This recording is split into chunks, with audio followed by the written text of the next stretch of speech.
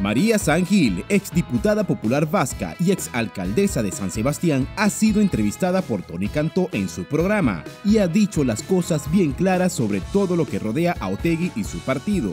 Asegura que ETA ha ganado porque luchamos 20 años para conseguir su desaparición y ahora se pasean libremente y se estrechan la mano con el presidente del gobierno a través de Bildu. Una auténtica vergüenza y el problema principal actual es que los jóvenes españoles no saben qué es ETA, qué hizo y quiénes son sus líderes ahora. Esto les deja indefensos ante los discursos de estos populistas que ya convencen a más de 200.000 personas en el País Vasco. Os dejamos con las imágenes, pero antes recuerda suscribirte y dejar un like si no te quieres perder vídeos como este.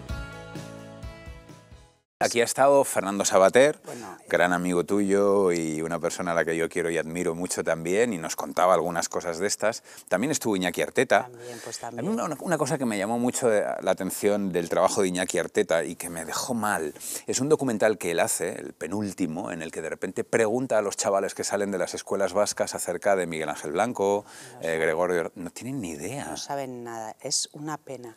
Uf, pero es que yo luego hice lo mismo para el programa el día que ellos vinieron aquí y en Madrid pasaba igual. Mira, es terrible porque los jóvenes no saben nada. Mira, nosotros en el CEU, con la Fundación Vía Cisneros y el CEU, hacemos un, un trabajo que es ir a todos los colegios del CEU con víctimas del terrorismo. Va Ana Iríbar, Consuelo, eh, o sea, eh, Ana Velasco, Iñaki Arteta, Dani Portero.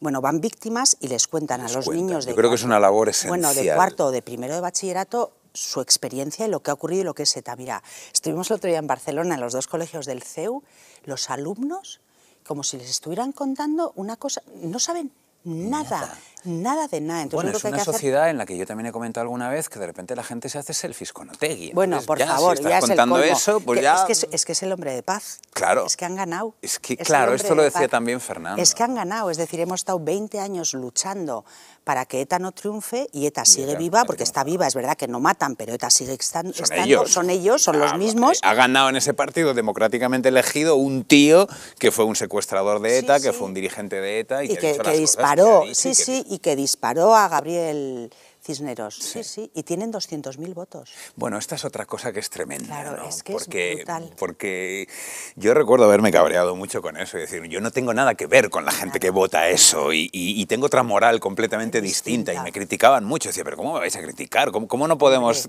dar por hecha una cosa tan obvia como esa? No, no? es alucinante que en el País Vasco los buenos son Bildu Batasuna ETA Sí. Y los pesados, los que no queremos exacto. la paz, los que no hemos perdonado, son las víctimas y, y- y algunos constitucionalistas.